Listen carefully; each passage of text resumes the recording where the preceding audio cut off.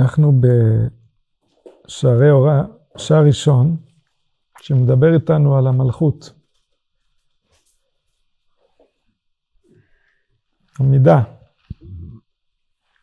שבה הבורא מנהל את כל הפרטים.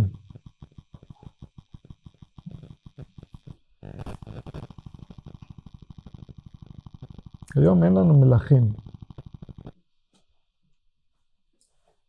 השליטה עברה ממלכות לממשלה. ממשלה זאת אומרת שהבן אדם והתפקיד שלו מחולקים לשתיים. מלכות זאת אומרת שהממשלה והתפקיד שלו מתאחד לאחד. הבן אדם הוא בעצמו המלכות, הוא המלך. כשאנחנו משתחווים אליו, אנחנו משתחווים אל המלכות. הוא מייצג את הכלל. בממשלה, הוא מייצג את הכלל מבחינה חוקית. הוא יכול לחתום על החוזה מול מדינה אחרת בשם של הכלל. אבל כאשר הוא הולך הביתה, הוא בן אדם, בן אדם רגיל, הוא אחד בתוך כולם. אז כאשר היה מלכות, הכוח של המלך היה שהוא היה צריך לכבד את הכלל שהוא מייצג. הוא היה צריך שהעם, כאשר ישמעו את שמו, יהיה להם תגובה חריפה. שידעו שהוא המלך, שלא שווה להסתבך איתו. אחרת, יש כל מיני אינטרסים וכל מיני אנשים וכל מיני כוחות. כל אחד יוביל לכיוון שלו. המלך צריך יראה גדולה כדי לשמור על הסדר, כדי שכל אחד יעשה את תפקודו, שיהיה נאמן לכלל. בתחילת האנושות, כאשר היו משפחות, הכלל היה מאוד הדוק, מאוד חזק, כמו בשבטים. ואז ככל שהתפתחנו בסיביליזציה והתחלנו לבנות עיירות והיינו ליד אנשים שלא הכרנו, אז כל הצורת חשיבה שלנו השתנה כלפי הכלל, והפרט הוא הרבה יותר קיבל צורה. ולכן גם העניין הזה של המלך, כאילו, מי הוא המלך? למה שהמלך יוכל להגיד לי מה לעשות, כאילו? איפה ההיגיון? מצד שני, אם כולנו נחשוב אחרת, אז אנחנו לא נצליח באמת להתמודד ביחד מול מה שהטבע דורש מאיתנו. ואז בוודאי שלא יהיה לנו כוח. אנחנו נפסיד כוח. איפה ההיגיון? למה שנרצה את זה? אז נשארנו בשתי צדדים לא הגיוניים. אחד, שנקבל על עצמנו משהו שזה מעבר, משהו יותר גדול, כדי שנוכל להתאחד ואז נוכל להביא כוח אחד לשני לפי המנגנון הזה, ונוכל באמת להיות כלל, ככלל, בצורה מודעת, או ש... אנחנו נגיד לא, כל אחד רוצה להביע את עצמו בצורה שהוא יודע, ואין אף אחד להגיד לשני איך לעשות את זה. ואז כולנו גם מפסידים כוח, כי אין לנו כלל בעצם. אין לנו על מה להסתמך. ואנחנו לא בטעות נעשה את אותו דבר, זה בוודאי לא יקרה. צריך להיות כאן איזושהי כוונה, מהי הכוונה הנכונה בכיוון הזה. אז העולם הישן אמר מלכות. העולם החדש אומר לא, רק את זה לא. אבל לכן הוא בא כדי בכלל לקרב אותנו לרעיון הזה, הוא מתחיל עם, עם הקדמה גדולה לגבי העניין הזה של מלכות. גם בזמנו עדיין היו מלכים, אבל לא ברמה שהיה פעם, לפני אלפי שנים, זה היה רמה אחרת לגמרי. זה כבר התחיל להיות קצת משחק. המלכים כבר, האיכות שלהם והאפשרות שלהם לנהל, ו... זה כבר היה בעיקר בידי משרתים, בידי אלה שהתעסקו כל אחד עבר קריירה בעניין מסוים של ניהול עם, ואז המלך הוא כבר ישב מעל, אבל הוא לא באמת היה זה. במצרים המלך, פרעה, לא היה יכול להיות פרעה אם הוא לא היה הכי חכם בכל העם. לכן פרעה לא נתן ליוסף לגלות שהוא מדבר שפה שפרעה לא מדבר. מי שיכול לדבר שפה שפרעה לא מדבר, אז מה זה פרעה? הוא מאבד כל, ה... כל התוקף של השם הזה. פרעה זאת אומרת, פרעה, אנחנו מסתכלים עליו כפרעה, מסתובב עם הפיג'מה, אבל יש פרעה שהוא פרעה, מלך העולם.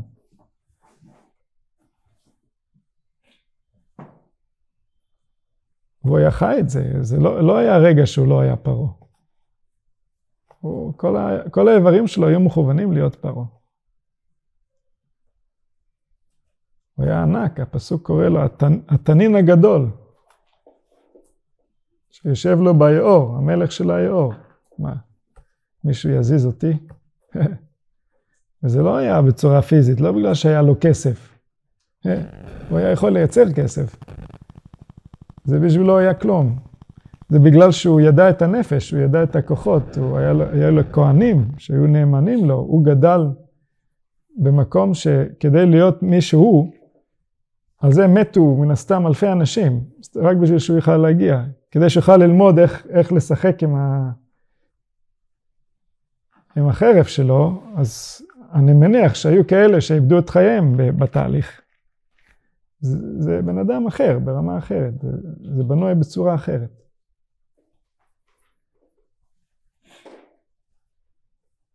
וזה הכוח של מלכות, שכולם הבינו שהוא זה זה וזה זה הוא, ואי אפשר להזיז אותו, ואין דבר כזה. גם אחרי שהוא ימות הוא עוד ישחק איתנו.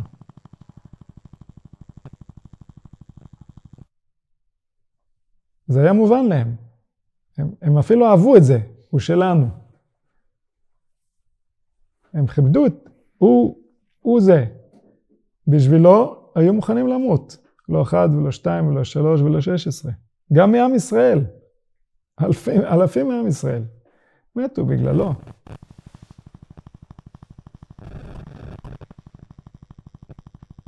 וזה היה כוח של מלכות, זה כוח אדיר, זה כוח ענק. היום אין, התודעה שלנו קטן מדי בשביל בכלל להתמודד בצורה מכובדת מול משהו. הכי מכובד שלנו זה, מה זה, פעם בן אדם ביום יום היה, היה משהו אחר. שיחקו על החיים ועל המוות. אז הוא מנסה להציג בפנינו מה זה מלכות, כדי שאנחנו נוכל לכוון את עצמנו, לכוון את הלב שלנו, כי, כי מה קורה? הרי הוא ברא אותנו בחוכמה, זאת אומרת, אם ציירנו את הציור נכון, הלב ייפתח. אם לא ציירנו את הציור נכון, אז לא פתחנו, לא עשינו, לא היה ולא כלום. אז למי? לכן הציור זה, זה בשיא החשיבות, כי זה כל העניין של הכוונה. מה אתה חושב שאתה עכשיו עושה? זה בדיוק מה שעשית. מבחינה רוחנית זהו.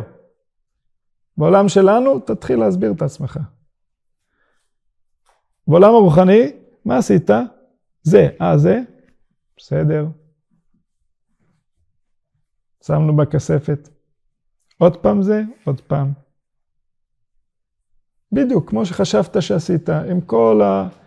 הכן והלא והאולי, הכל נכלל. ככה? אין בעיה. שיחקת אותה. ואז מה המשמעות של הדברים? זה נפתר ונפתר ונפתח. אז הכוונה, זה העיקר. מה אתה חושב שאתה עושה? איפה אתה עומד עכשיו? איפה אתה? עם מי אתה מדבר?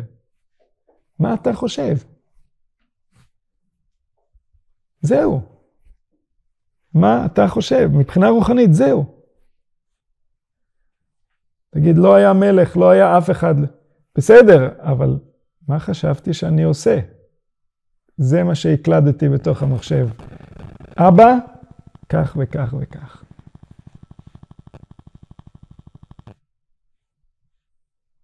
וזה נשאר לנצח. זה שלי. אף אחד לא יכול לקחת לי. התרגשתי, אמרתי, זהו, היה. בכספת, שמור, אי אפשר לגעת.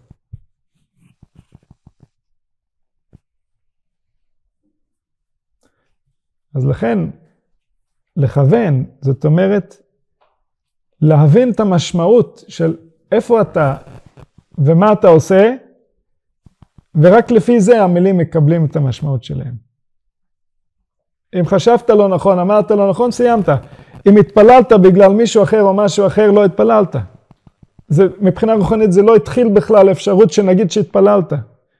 מה זה משנה איפה אמרת ואיזה מילים ומה היה בשפתיים, זה לא משנה כלום. מבחינה רוחנית לא היה כאן אפילו הכנה לתפילה, כלום. לא קרה, לא היה.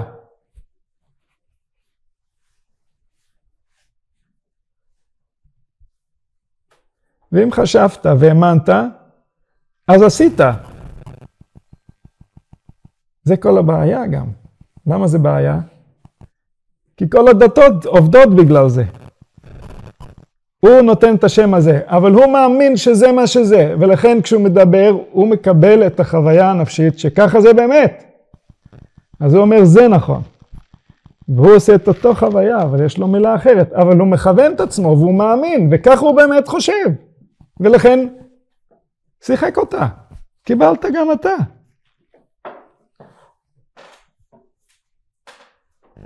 השאלה עד כמה אנחנו יודעים לכוון? זו השאלה.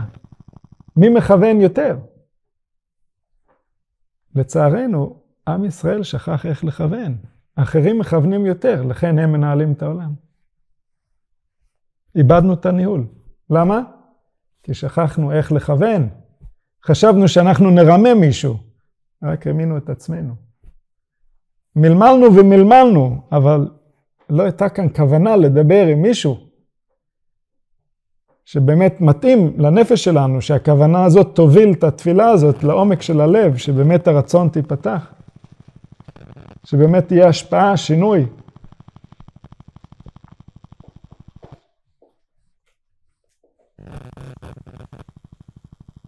ולכן איבדנו את כל הכוח.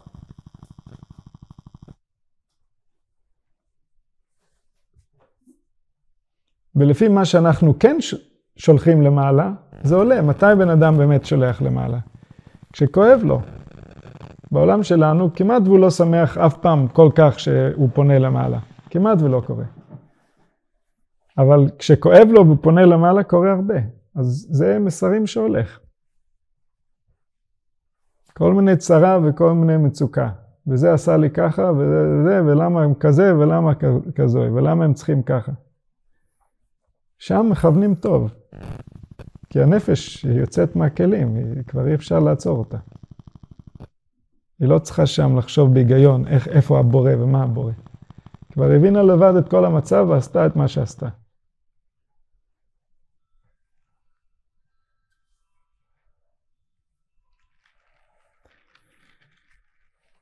אז הוא אומר, ורבותינו ז"ל יצטרכו להעיר אותנו.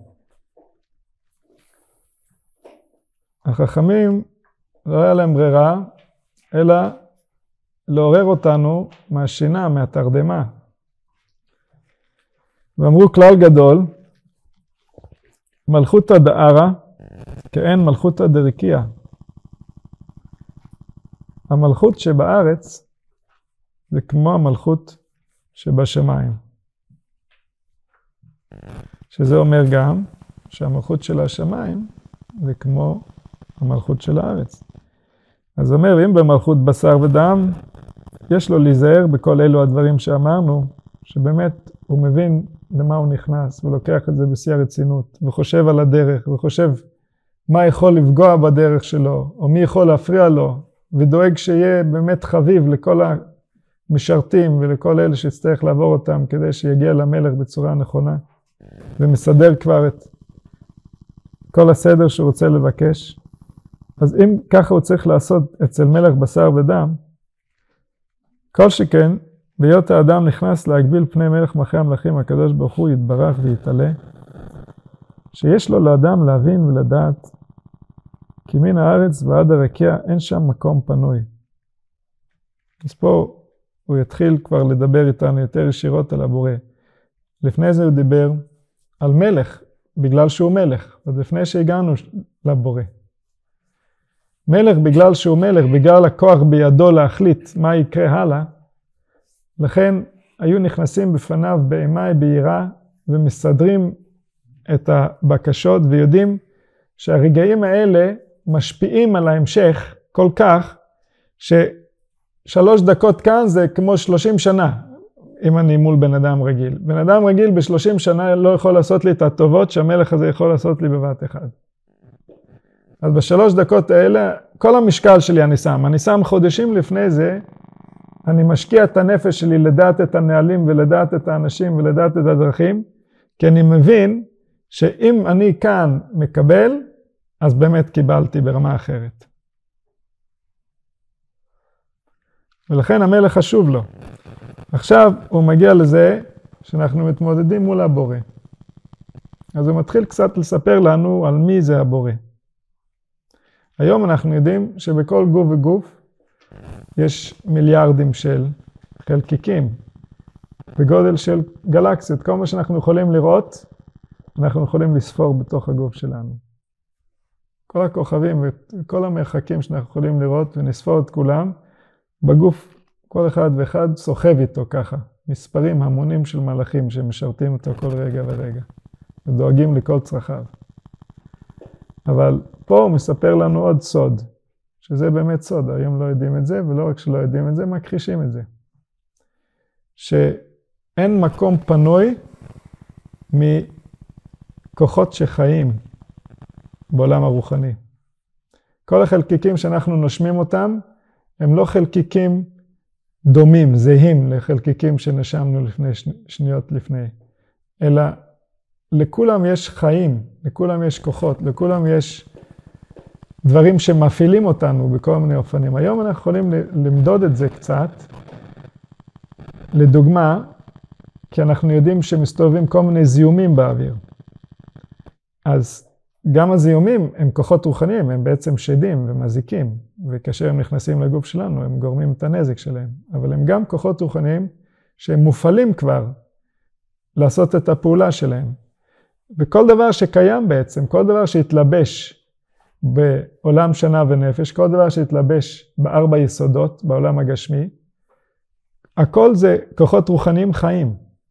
וזה בעצם התנועה שלהם, זה שאנחנו רואים בצורה פיזית, שיש תנועה בכל חלקיק, מה שמניע את החלקיק זה הרצון הרוחני שמתלבש שם.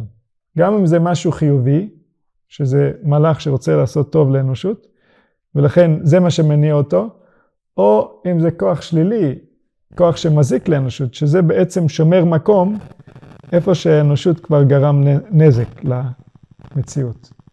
אז כדי לשמור על הטוב הגדול, בכל מקום שאנחנו גורמים נזק, אנחנו מייצרים כוחות שישמרו על הנזק הזה עד שאנחנו נתקן אותו.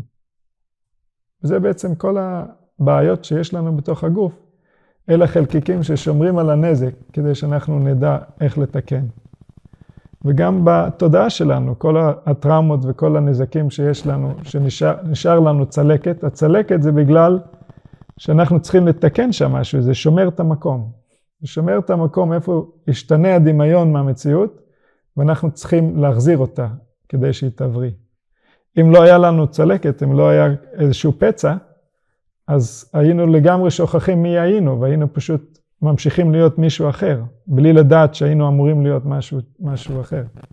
הכאב שומר על המקום לדעת שפה איבדנו משהו ואנחנו צריכים למצוא את זה חזרה, אנחנו צריכים להחזיר את זה. אז ככה זה התהליך של החלקיקים, שאנחנו מאבדים אותם כל הזמן בנשימה, אבל לא רק בנשימה, גם באכילה וגם כל הכוכבים למיניהם, כולם חיים, כולם יש בהם כוחות חיים שהם מרכז למציאות מסוימת, והמציאות הזאת נפגשת איתנו גם בגוף שלנו. אז ממש מציאות קרוב אלינו, וגם כאשר אנחנו חושבים והאיברים שלנו מפעילים אותנו בחשיבה וברגש, הכל קשור לכוחות שמייצרים את האפשרות הזאת בתוכנו. אז פה הוא אומר שיש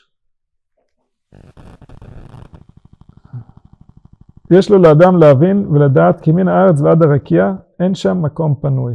אז מבחינתנו הרקיע זה המקום איפה שכל הכוכבים ומפה עד שנגיד אנחנו יוצאים מהאטמוספירה, יש לנו שטח אדיר של מקום, אבל המקום הזה מלא עם ברואים, עם כוחות חיים, עם כוחות שיש להם משמעות כלפינו, שאנחנו יצרנו אותם והם גם ישפיעו על הייצור שלנו בהמשך. אז כל מה שקיים, יש בו כוחות, וזה לא מקום פנוי, זה לא ריק, אלא הכל מלא גדודים והמונים, מהם טהורים, בעלי חסד ורחמים, ויש למטה מהם כמה בריות מאות מזיקים ומקטרגים. וכולם עומדים ופורחים באוויר, ואין מן הארץ ועד הרקיע מקום פנוי, אלא הכל מלא, מלא המונים. מהם לשלום, מהם למלחמה, מהם לטובה, מהם לרעה, מהם לחיים, מהם למוות. ועל זה מיוסד שיר של פגעים יושב בסתר עליון. אז כאשר אמרנו שמי שיודע את השם של הבורא, הוא נשמר מכל המזיקים, על המזיקים האלה דיברנו. המזיקים האלה, שהם מקבלים צורה על ידי האנושות, ואז הם יכולים להזיק לנו, אז מי שיודע את השם של הבורא, הוא שמור מכל המזיקים האלה. הנשימה שלו תנקה את כל המזיקים מהאוויר שהוא, שהוא מכניס. למה? כי הדעת שלו תהיה מכוונת למצב של הנפש שלו, ולכן הוא יוכל להרגיש מה שנכנס לתוכו ואיך זה משפיע עליו. ולכן מהבסיס הזה הוא יוכל להכיר כל המצבים של המציאות, שזה מה שכתוב על המשיח, וריחו ביראת השם, שעל ידי הריח, על ידי חוש הריח, הוא יוכל להכיר בבן אדם מה המצב של הרוחני. אז אצלו הנשימה זה יהיה סוג של טעימה, טעימה רוחנית, לדעת מה, מה נמצא בתוך האוויר הזה, מה זה. מי נשם את זה החוצה, איך, מה המצב הנפשי שלו. אז כל, ה, כל האלה ש, שחיים בתוך האוויר, אז בשיר של הפגעים אומרים, יושב בסתר עליון, כי הוא יצילך מפח יקיש, מדבר אבות, בעברתו יסך לך, לא תירא מפחד לילה, מדבר, מדבר באופל יהלוך, שהוא לא יפחד מכל הדברים, כי מלאכיו יצב לך לשמורך בכל דרכיך. אז המלאכים שהוא שולח, אותו, שהוא שולח לשמור אותו, אלה המלאכים שנמצאים בתוך הנפש שלו על ידי שיש לו את ידיעת השם. ואלה המלאכים מסננים לו את כל מה שנמצא, מה שיכול להזיק לו, ומחזירים אותו אל האיזון שלו. וזה אנחנו יודעים שכל מקום שבן אדם הולך, יש לו ארבע מחנות שכינה שבאים איתו, שזה המחנה של מיכאל לימין, המחנה של גבריאל לשמאל, המחנה של אוריאל לפנים והמחנה של רפאל לאחור.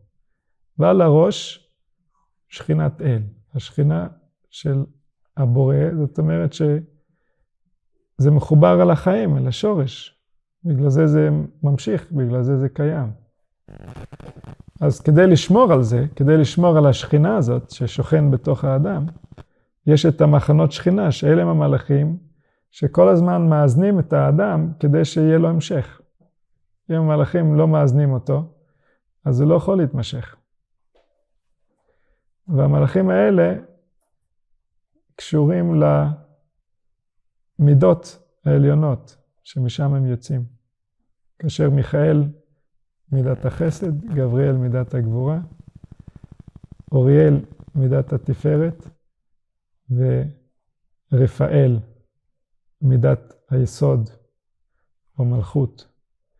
אז כל אלה הם תמיד באים עם השכינה, איפה שנמצא השכינה, כדי להגן עליה. זאת אומרת, בעולם הרוחני אין דבר כזה מקום, לכן השכינה לא יכולה לקבל נזק בעולם העליון. אבל כאשר אנחנו בונים פה מציאות, איפה שיהיה הסתרה, איפה שאנחנו לא נכיר שהשכינה היא השכינה, ולכן כן יהיה אפשרות לנזק, שזה בעצם הרצון. למה העולם הזה חשוב?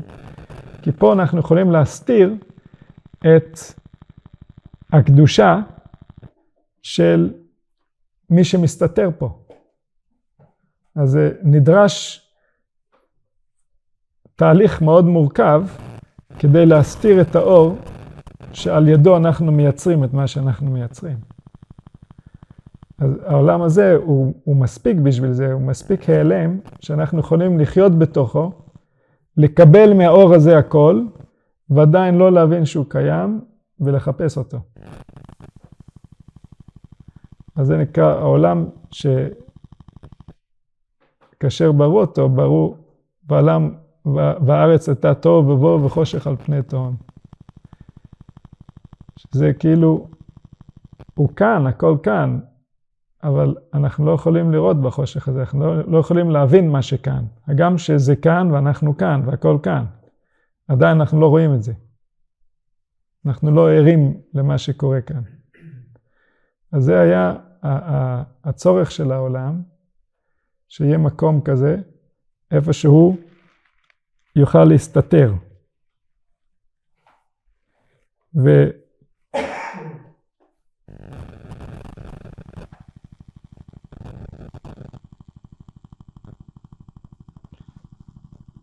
ובמקום הזה, הוא יהיה במצב שהוא מתמודד על קיומו. זאת אומרת שבאמת הוא נכנס למצב הזה, והמצב הזה זה מצב אמיתי, החוויה שלו אמיתית. כל מה שקורה לו, כל נזק, מבחינתו, מבחינת החוויה של פה, זה אמיתי. זה קיים וזה ממשיך. ואז, אם הוא יזכור את עצמו, אם הוא ידע את עצמו, מזה הוא יחזיר לעצמו את הכוח.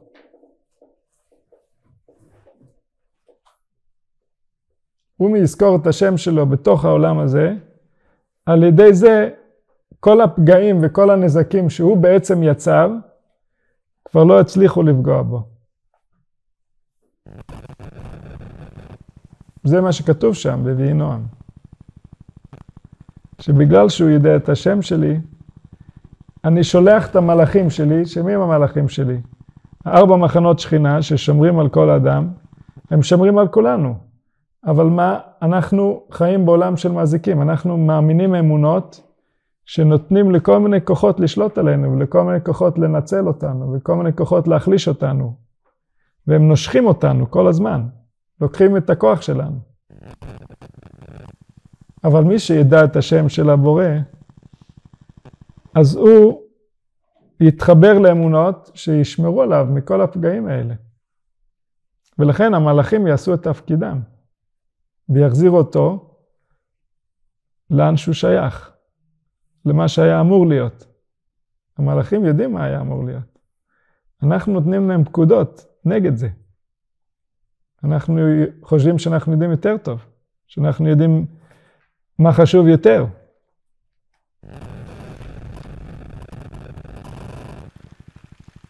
אז המלאכים, אלה המחנות ששומרים עליו, וכל אלה המחנות בין הארץ ובין השמיים, דוגמת ההולך בדרך ממקום סכנה, כך תפילתו של אדם עוברת בין אלה הכיתות ועולה עד לרקיע.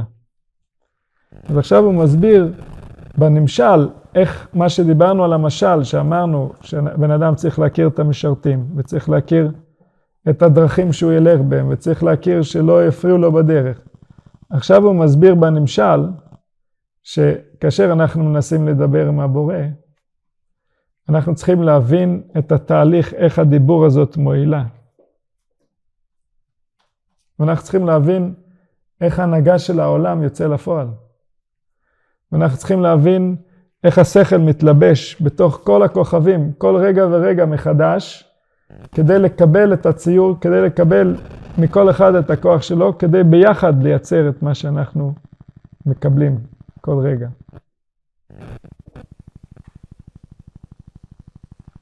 לכן ילד שנולד, הוא מקבל את המזל שלו לפי הנשימה הראשונה. זאת אומרת, באותו רגע, היקום עשה את החשבון מחדש, דרך כל הכוכבים, והגיע למסקנה איך צריך להיות אותו רגע, ואז הילד מקבל את זה. עד כדי כך זה נכנס לו עמוק, שזה הצורה שלו, שנשאר לו עכשיו, בכל התהליך הזאת. כל זמן שהוא בגוף. זה כבר קבע את הבסיס שלו באיזשהו מקום. וכל רגע ככה עובר החשבון. אז ההנהגה יוצא מלמעלה עד שזה מגיע אלינו, עד שזה מגיע לנקודה התחתונה. ולכן הקרובי לכת שממש קרובים אלינו, את ההשפעה שלהם קל לראות. אלה שהתעסקו בזה, וכאשר עולם היה חופשי באמת, שכל אחד הלך אחרי האיברים שלו, אז ראו את מה שנמצא בשמיים על הארץ. היום יש לנו כל מיני חוקים ומשפטים וסדרים והרגלים, ואנחנו עושים אותו יום, כל יום פחות או יותר מה שעשינו יום שלפני ויום אחרי, לכן אנחנו לא נראה בדיוק את, לאן השמיים שולח אותנו. אז השמיים שלנו זה בתוך החוויה שלנו, יש לנו כל מיני מצבי רוח, שיום אחד אנחנו יושבים שם ובא לנו לשבת שם, ויום אחד אנחנו יושבים שם ולא בא לנו לשבת שם. ויום אחד אנחנו יושבים שם ומעניין אותנו חלק אחד מהסיפור, ויום אחד אנחנו יושבים שם, מעניין אותנו חלק... אז מבחינת הפנימיות, השמיים עדיין פועל. אבל מבחינת החיצוניות, כל יום אנחנו יושבים שם, כי כך הכתיבו לנו. בין אם בא לנו, בין אם לא בא לנו. כאשר לא בא לנו, יש נזק. אם אנחנו עושים מה שלא בא לנו, יש נזק. אנחנו מכריחים את הנפש. הנפש היא בת מלך, היא לא אוהבת כשמכריחים אותה.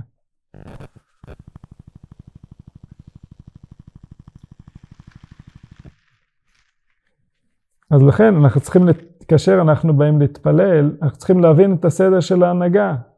ההנהגה יוצאת אלינו מלמעלה למטה, לפי הסדרים של היום, לפי כל הכוחות, לפי כל, ה, כל מה שקיים, ולכן, איפה שאני אשתיל את הבקשה שלי, זה מה שיגרום אם היא תתקבל ואיך היא תתקבל ואיך היא תשפיע. ולכן אני צריך לעלות למעלה. איך עולים למעלה? למעלה זה בתוך הנפש. איפה שהנפש מתייחדת, שם היא בשורש שלה, זה הכי גבוה שהיא יכולה ללכת. ככל שהיא מתפצלת לכל מיני רצונות וכל מיני דברים חיצוניים, אז היא מפסידה כוח והיא יורדת. אם אני משתיל את התפילה כשאני עסוק בכמה דברים אחרים, גם אני כיוונתי את המילים כאשר אמרתי אותם, אבל לא נתתי לזה את העוצמה, לא הייתי למעלה, לא השתלתי את זה במקום שיש לו השפעה גדולה. אם אני בעולם שאני מופשט לגמרי מכל מה שקורה פה, ואני מתחבר אל הבורא במקום איפה שהיה אמור להיות, במקום שאני מרגיש איתו כאחד, וכל הרצונות שלי בטלים כלפיו. ושם אני משתיל את התפילה שלי, יש השפעה אחרת. לכן, חסידים הראשונים היו, שעין שעה אחד לפני התפילה מתפללים. הם היו מכינים את הלב שלהם שעה שלמה, כדי שהמקום איפה שהם שמים את הדברים, יהיה לו משמעות. וכן באמת, לא רק שהתפילה שלהם הייתה מתקבלת, אלא גם הם בעצמם היו מתקבלים. הבורא, הכוח האינסופי שמתלבש בעולם שלנו, היה מתלבש בצורה אחרת לגמרי דרכם. וגם כל מה שהיה קורה להם מסביב, כל מה שהיה קורה להם ביום-יום, גם שבא מהעולם החיצון, מאנשים שהיינו חושבים שהם לגמרי מנותקים מהרוחניות. אבל לגבי האנשים האלה, ההתנהגות שלהם הייתה אחרת. כי הנפש מחוברת למקום שהיא לא מבינה ולא יודעת, ומשם מקבלת פקודות. וכאשר המקום הזה מכיר אותנו, אז גם אנשים שלא מכירים אותנו, מכירים אותנו.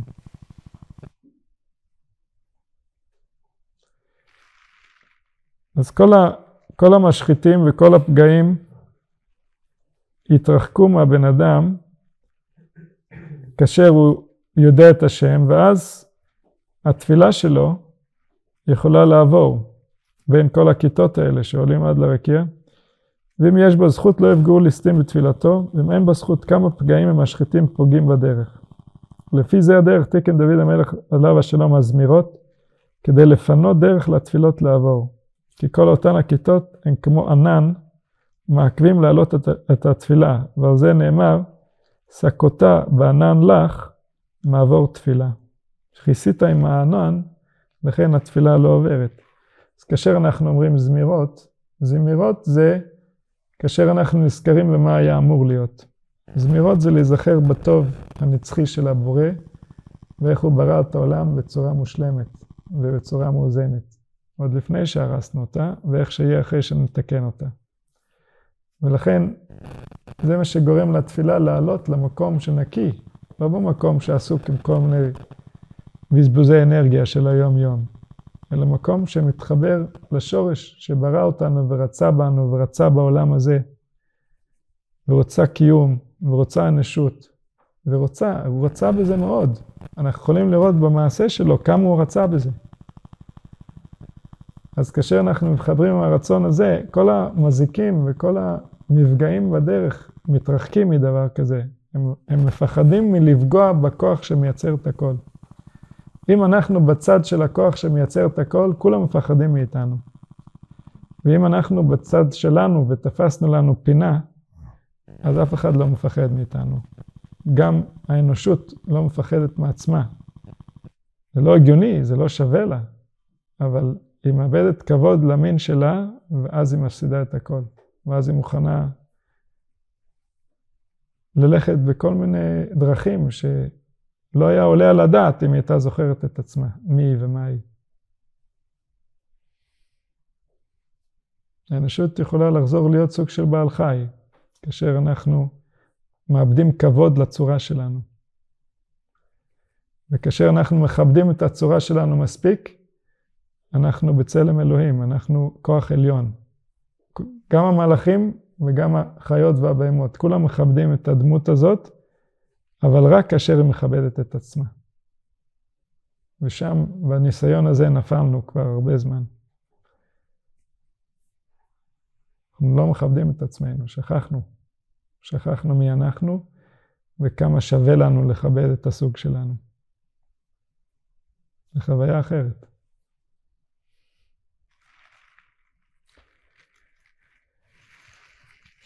כשבא דוד המלך והתקין זמירות, בהיות האדם מסדר אותן הזמירות, אזי מסתלקין והולכין להם אותם המשחיתים והמקלקלים והמעכבים, ונקראו זמירות מלשון מזמר, מלשון שנאמר וקראת הזלזלים במזמרות, שזה מלשון לחתוך, לזמר.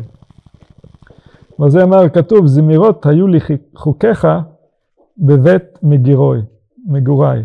זאת אומרת, כשהיה לו פחד, אז הזמירות של החוקים היו חותכים את הקליפות, את הכוחות שרוצים להזיק, ועל ידי זה הוא היה ניצל. כלומר, באותם המקומות שהייתי מתיירא מהן בדרך, והיה לי פחד עם הגור, באותן הזמירות פזרתם והכרעתם. לפי זה הדרך נאמר, ורון יחד קורבי בוקר, ויראו כל בני אלוהים. שגם פה אנחנו מדברים על הזמירות של הכוכבים, שאומר בעניין רינה הם הזמירות הנאמרים בבוקר. ואזי יתפזרו ויתרועעו כל בעלי הדין הקשה נקראים בני אלוהים. מלשון ירו, מלשון רואה את רואה הארץ, מלשון שהם חרדים מזה. מהשיר של הכוכבים, כאשר הם באים ומסדרים את היום, אנחנו רואים את גדולתו וחוכמתו של הבורא. וזה המקטרגים לא יכולים ל... ל... הם לא יכולים לעכל את זה. כי כל המהות שלהם זה להגיד שהבורא הוא חסר, הבורא לא הצליח. וכאשר האנושות מאמינה בזה, אז מתחיל לצאת הנזק לפועל. כל המזיקים צריכים את האמונה שלנו כדי לקבל כוח. וכאשר אנחנו לא מאמינים בהם, וכאשר אנחנו זוכרים את השם של הבורא, וכאשר הכוכבים יודעים את הסדר שלהם ומסדרים את זה בבוקר כדי לייצר את היום החדש, אז ויראו כל בני אלים, אז יש להם חרדה לכל המזיקים האלה, כי הם יודעים שהגיע זמנם להיבטל מה, מהמציאות. ולכן יש המשך לבריאה. אם בבוקר לא היה מגיע הרינה של הכוכבים, והמזיקים היו מקבלים את שלהם, אז כל יום היו מוחקים את העולם. הם מוכנים למחוק את זה כל יום מחדש, את העולם. יש מזיקים ש... זה התפקיד שלהם, כל הזמן מייצרים כוחות שיוצרים למחוק את העולם. וכאשר אנחנו, חס וחלילה, הנפש שלנו נכנסת למקום של כעס, והיא מרגישה ככה, היא מרגישה שבא לה למחוק את העולם, אז היא נותנת מזון לכוחות האלה,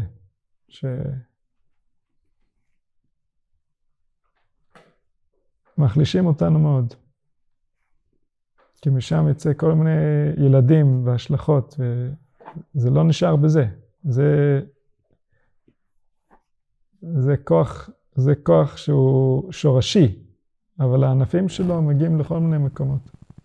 כל מיני התנהגויות לא ראויות, כל מיני דיבורים לא יעילים, כל מיני בעיות נפשיות, והכל מהשורש הזה, ש, שהוא, שהוא לוקה שם, ומשם יוצא פירות ממש ממש מרים.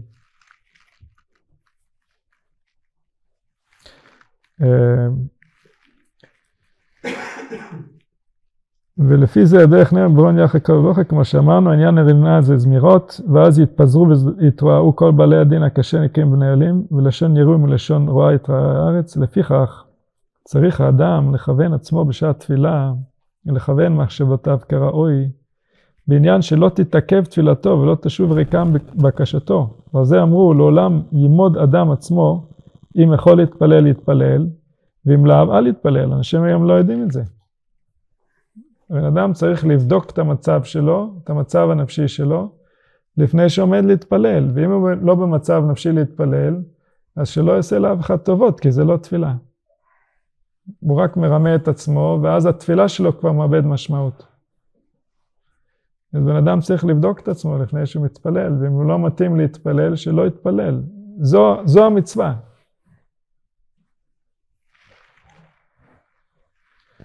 פרש שאם יכול לכוון בתפילתו באיזה שר שצריך בתפילתו יתפלל, ואם לאו אל יתפלל. אז פה הוא כבר ברמה אחרת, שבן אדם באמת יודע את הכוחות ויודע מאיפה הוא, צר, הוא רוצה לקבל את, ה, את הבקשה שלו. אז הוא יתפלל, כי אם לא, הוא לא בא עם כלי אל המלך, הוא אומר למלך תן לי שמן, אז המלך אומר נו, אני, אני מביא לך, אין לו את הכלי. אז אצלו זה, אם בן אדם הוא בא לבקש משהו והוא לא יודע באיזה כוח, איפה, איפה חסר לו, איפה הוא לא מאוזן, מה הוא צריך לאזן, אז, אז מה אתה מבקש מהמלך? המלך מוכן להביא לך, אתה לא, אתה לא יודע איך לקבל את מה שהוא מביא לך.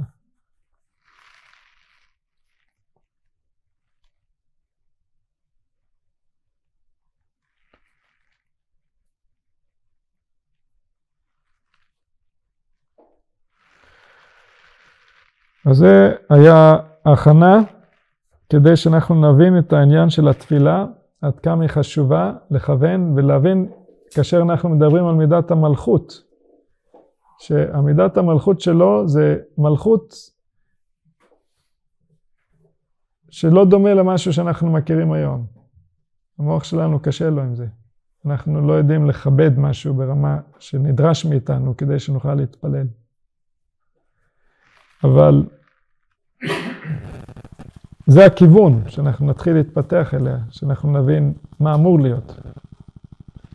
ואחר שעוד אני חזה, כי עיקר אמונה ביסוד הייחוד הוא להבין שימושי כל שמותיו הקדושים הנזכרים בתורה, שכולם כלילים בשם בין ארבע אותיות שהוא השם יתברך, והוא הנקרא גוף האילן, ושאר כל השמות מהם שורש, מהם ענפים, מהם אוצרות יגנזים. וכל אחד מהם יש לו פעולה מיוחדת מחברו. אז כאן אנחנו כבר ניכנס לתוך ההיכל של המלך, כאשר הוא דיבר איתנו על הסדר, איך אנחנו נכוון את עצמנו, כאשר אנחנו רוצים לבוא לקראת המלך.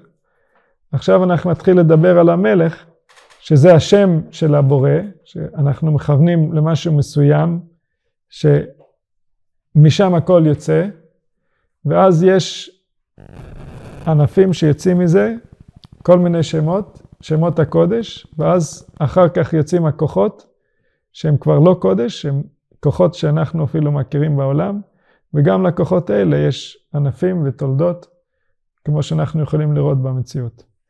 אז פה אנחנו ניגש לשורש של העניין, לשורש של המציאות, שהמציאות הזאת, אנחנו נמצא את זה בכל מקום שיש דמות האדם, צלם אלוהים, שזה אומר בכל העולמות, זה אומר בכל אחד ואחד מאיתנו, זה אומר בכל כלל וכלל שאנחנו ננסה לייצר. זה אומר שבכל היקום אנחנו נמצא באיזשהו דרך, באיזושהי צורה, את אותם כוחות שיש לנו בעצמנו, והכל מסודר עם אותם קשרים, עם אותם פנימיות וחיצוניות. נגיד לדוגמה, אם אנחנו מוצאים שהצורה שלנו היא שיש רוח בפנים וגוף בחוץ, והרוח הפנימי מנהל את הגוף, אז אנחנו נדע שבכל חלקיק בתוך הבריאה יש כוח פנימי וכוח חיצוני, כמו שדיברנו עכשיו ואמרנו שמכאן עד לשמיים אין שום דבר ריק, אלא בכל מקום כוחות חיות. וכמו שאנחנו, יש לנו גוף, שזה החלק החיצון שלנו, ויש לנו רוח, שזה החלק הפנימי שלנו, שזה מנהל, ככה גם יש לשמש, ויש לירח, ויש לכל הכוכבים, ויש לכל החלקיקים, וגם לכדור הארץ. וגם שהדמיון שלנו לא, לא ידע אף פעם לצייר איך נראה התפיסה שלהם בעצמם, ואיך נראה התפיסה שלהם בבורא, ואיך נראה התפיסה שלהם כלפי התפקיד שלהם, אנחנו לא יכולים לדמיין כלום, לדמיון שלנו אין פה מה לאכול. אבל זה לא מכחיש את העובדות של איך הבורא ברא את הבריאה ואיך, ואיך הכוחות מתאחדים כדי לייצר אותנו. שזה בעצם הכוונה שלנו, זה לדמות את הדמיון שלנו לצורה האמיתית שככה היקום באמת פועלת. שזה מה שלמדנו, שחז"ל אומרים, גדול כוחן של הנביאים, שמדמין את הצורה ליוצרה.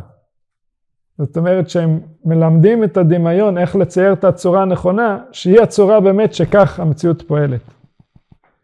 אז הדמיון שלנו צריך להיות מוכן ללכת איפה שהמציאות נמצאת, והצורה שלנו נותן לנו את הכלים כדי לעשות את זה, ומשם אנחנו נקבל את כל המידע שאנחנו צריכים, כל האיברים, כל הפרטים, כל הקשרים, כל הפונקציות, כל האפשרויות, כל המניפולציות ששייך לעשות, כל מה שיש כלפינו ברמה הזאת, זה נוקב ויורד בכל העולמות, בכל הכיוונים, בכל המקומות, ולכן מבשרי איך זה אלוה, שנזכה באמת בקרוב.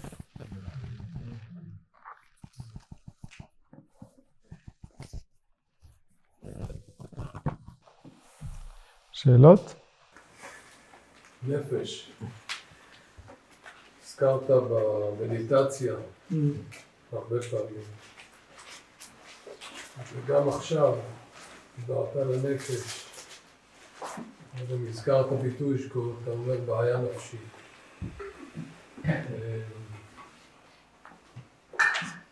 זה עולם מושגים שהוא אה, לא מוכר. כן. נשמה. אבל אה, רות היא לא פסיכולוגית? מדובר באותו דבר, הנפש של הפסיכולוגים? היא מנסה לטפל בנפש.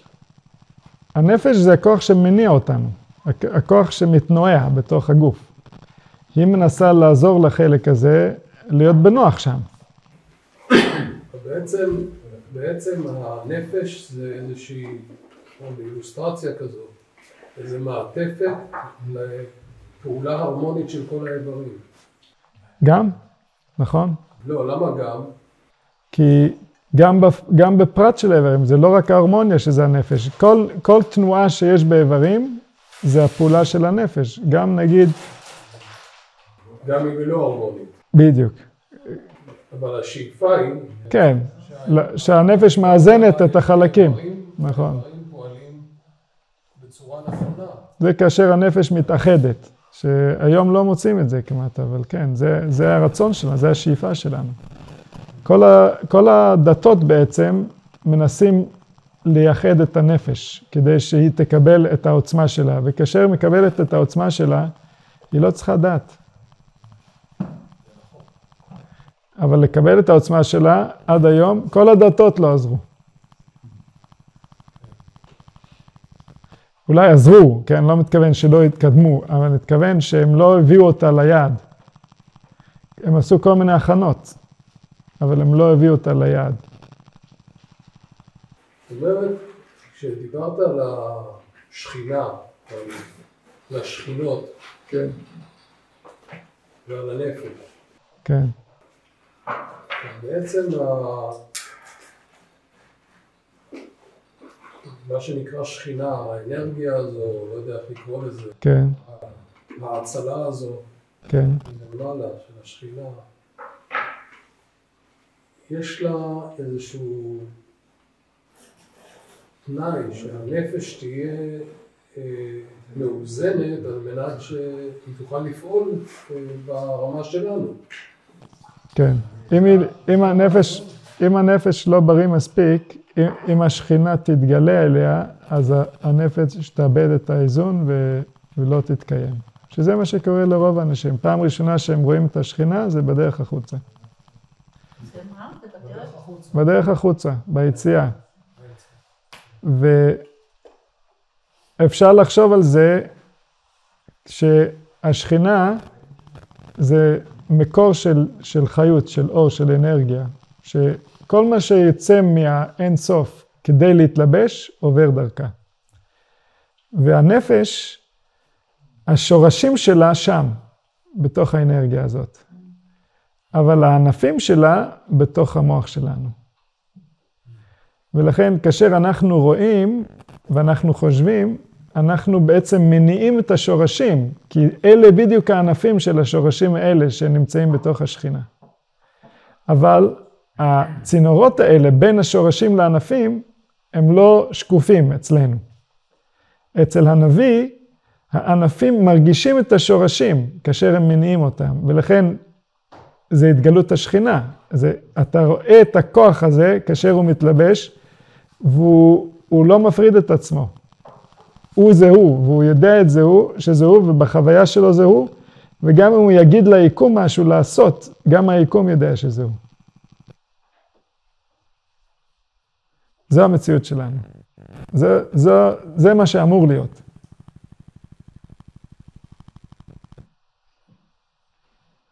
ואיך זה אמור להרגיש, אין לי מושג, אבל אני לא מרגיש את זה עדיין, זה בטוח לי.